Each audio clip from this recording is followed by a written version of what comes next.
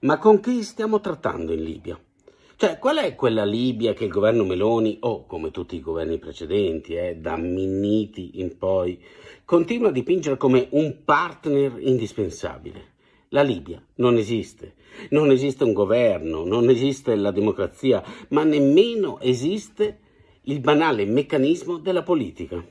Se servissero altre prove, ieri i membri del Consiglio di sicurezza delle Nazioni Unite hanno espresso profonda preoccupazione per il perdurare della crisi politica in Libia e la loro delusione per la mancanza di progressi in un comunicato rilasciato ieri e ripreso dai media libici, i Paesi membri hanno fermato il loro forte sostegno all'inviato delle Nazioni Unite, Abdullaye Batili, per dare, scrivono, nuovo slancio al vacillante processo politico e migliorare la stabilità nel Paese il Consiglio di sicurezza ha invitato tutte le parti libiche e le principali parti internazionali interessate a dialogare con l'inviato ONU in uno spirito di compromesso e in modo trasparente e inclusivo, ribadendo l'impegno a sostenere il dialogo tra libici e lo scopo di formare veramente un governo unificato, cioè veramente riconosciuto in tutto il paese e in grado di rappresentare l'intero popolo libico. Da febbraio ormai, anche se non lo scrive nessuno, la Libia è divisa tra due coalizioni politiche e militari rivali. Da una parte c'è il governo di unità nazionale con sede a Tripoli del premier Abdulhamid Dabahaiba, riconosciuto dalle comunità internazionali e appoggiato dalla Turchia. Dall'altra c'è il governo di stabilità nazionale guidato dal premier designato Bashaga, di fatto un esecutivo parallelo basato in Cirenaica, inizialmente appoggiato da Egitto e Russia, ma oggi apparentemente abbandonato a se stesso. I Paesi membri del Consiglio di sicurezza hanno invitato tutte le parti a mantenere la calma sul terreno, dove è in vigore un cessate il fuoco dall'ottobre del 2020.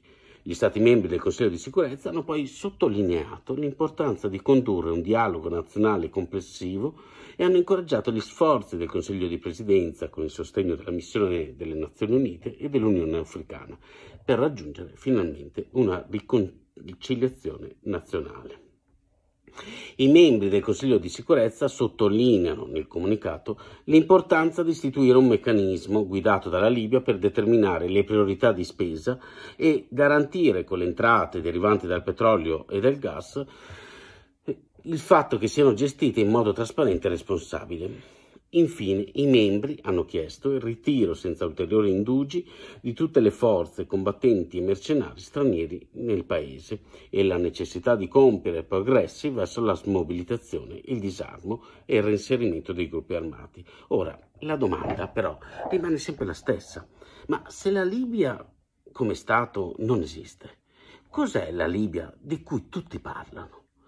Quella di cui tutti parlano per risolvere il problema, lo dicono loro dell'immigrazione, che definiscono erroneamente clandestina. Cioè, esattamente, a chi stiamo dando i soldi per gestire i centri in cui, lo dice l'ONU e lo dicono le organizzazioni internazionali, vengono illegalmente trattenuti i migranti?